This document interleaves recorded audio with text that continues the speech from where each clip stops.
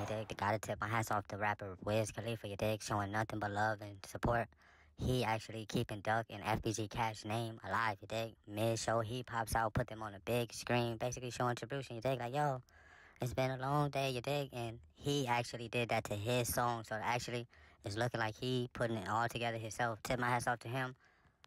A lot of people might not see this as big, but it's definitely big. Um, keeping Duck legacy and, and Cash legacy alive, and definitely a good look for the rap industry when a lot of blackballing was going. I mean, it's going on. You dig? But tip my hats off to him for getting so long. You dig? I'll tell you all about it.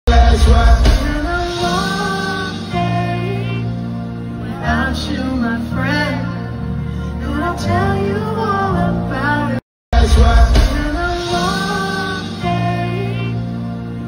you, my friend, and I'll tell you all about it. That's right. Been a long day, and I'll tell you all about it. That's right. Been a long day without you, my friend, and I'll tell you all about it.